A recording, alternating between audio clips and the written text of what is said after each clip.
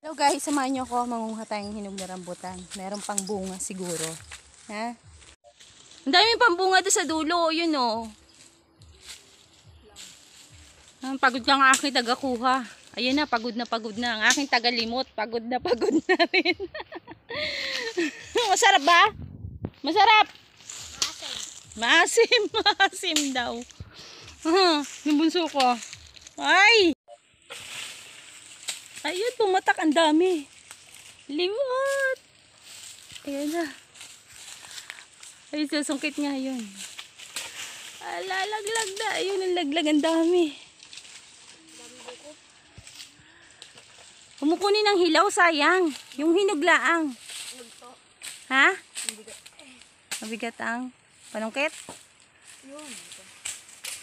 Ayan, nahulog na. Puro buko ga. Huwag yung bukot, sayang. Ayun, ang dami sa dulo.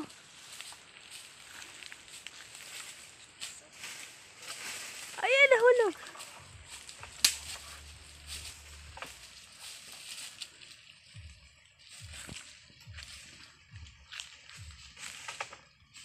Ayun, nahulog na. Ang dami ng kuha. Marami tayong kuha. Patingin. Mahingi ako. Ayun, nililiwat na yun. Ayun isa. Yung hinog na hinog. Ayan, guys. Pahingi. Wait lang.